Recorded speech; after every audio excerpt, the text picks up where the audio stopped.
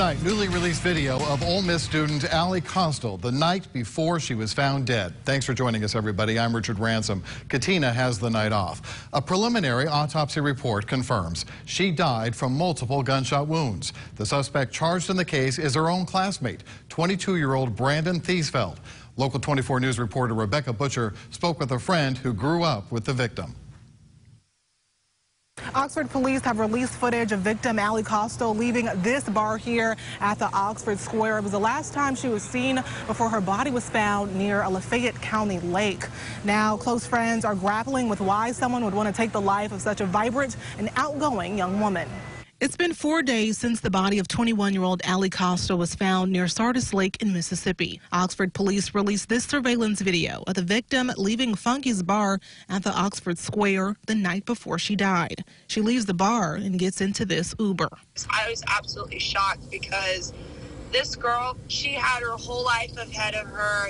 She was going to be very successful someday, and unfortunately, that was cut way too short for her. On Monday, Mississippi authorities arrested fellow Ole Miss business student Brandon Theesfeld in Memphis. He was charged with murder in her death. Investigator Alan Wilburn provided little details today in the investigation. No bond hearing today, no bond hearing. The victim was an Alpha Phi sorority member.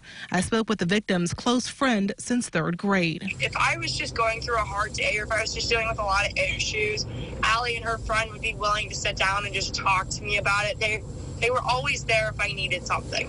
For Claudia Swires, Kostial's memory will live on. People will not forget her, and they'll remember, people from Lindbergh will remember, hey, that's the girl who would always help me out if I was in a difficult time, and she'd be willing to sit there and listen. And a visual is planned for tomorrow evening to honor Kostial in her hometown of St. Louis, Missouri at her high school. Meanwhile, well-known defense attorney Stephen Farese and fellow defense attorney Tony Farese say they will represent the suspect, Mr. Theesfeld. No bond hearing date has been determined. Reporting in Oxford, Rebecca Butcher, Local 24 News.